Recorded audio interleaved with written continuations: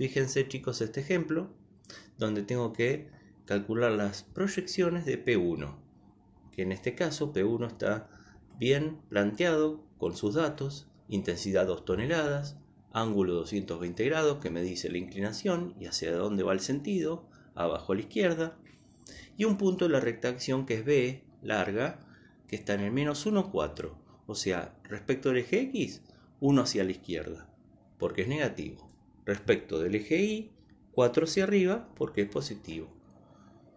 Entonces, P1X, que sería la proyección de P1 respecto del eje X, ven, horizontal, es igual a P1 por coseno del ángulo. O sea, menos 1,53. Y está bien que dio menos 1,53, o sea, que dio negativo, porque va hacia la izquierda. P1i, si va hacia abajo, también tendría que dar negativo, porque el eje Y positivo es hacia arriba. Y a ver qué nos dio.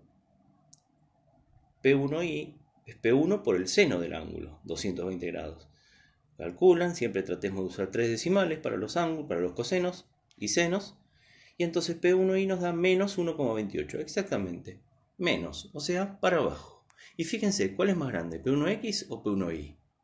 P1x. Y fíjense, los números analíticamente también nos dieron lo mismo. P1x es negativo 1,53, P1i negativo 1,28. P1x en módulo es más grande. ¿Se ve?